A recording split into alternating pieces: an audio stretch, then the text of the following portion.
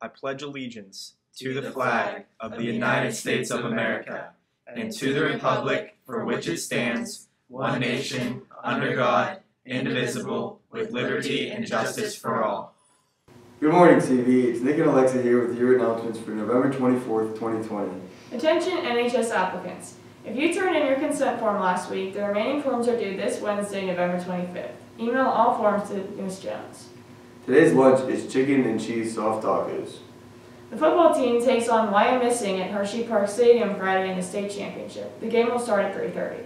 Teachers, please send any updates or announcements that you may have to cvtv at centralvalleysd.net. That's all we have for you today, CV. Hey CV, it's Chloe and Carolyn with a special segment on the history of Black Friday. Black Friday is the name for the Friday following Thanksgiving Day and is held this year on November 27, 2020. On Black Friday, stores are known to hold hundreds of people at a time and crowds are extremely common. People often are tumbling over one another to try to score deals on items like TVs, phones, and even clothes. But with the COVID-19 outbreak this year, it has been asked if Black Friday is even going to happen. And the answer is yes. However, strict guidelines will be in place to ensure safety. If you are choosing to shop in person, social distancing is, of course, the number one rule. Try to stay at least six feet apart from other shoppers and wear your mask at all times. Also, since stores are only allowed about 50% capacity, most will be extending their hours to earlier times. This will be in place to spread out the masses of people throughout the day.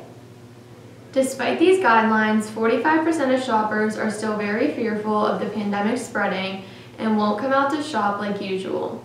Therefore, to collect that 45% participation, most stores will be offering their Black Friday deals on their website as well. With Black Friday being such a popular event throughout the age groups, we decided to ask around the school to see if any of our CV students participate. Here's what they all had to say.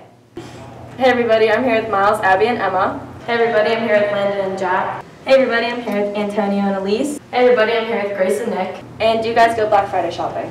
Yes. A little bit. No, I don't. Um, last year I did, but like before that, no. I, yeah. Um, yeah, it varies like every year.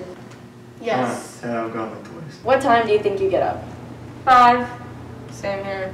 About one in the morning. Oh, I wake up like four o'clock, start getting ready, you know, brush my teeth, get out the door by five. I gotta be there like the time the doors are open. Um, I go by like at least noon.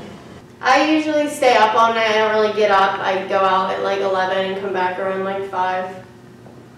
I I go out at like 10 in the morning and do the afternoon stuff. And where's your favorite place to shop? Ross Park Mall.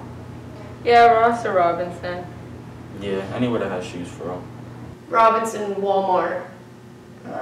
Robinson Dick's Sporting Goods. J.C. Penney's, something like that, and then you just kind of walk around.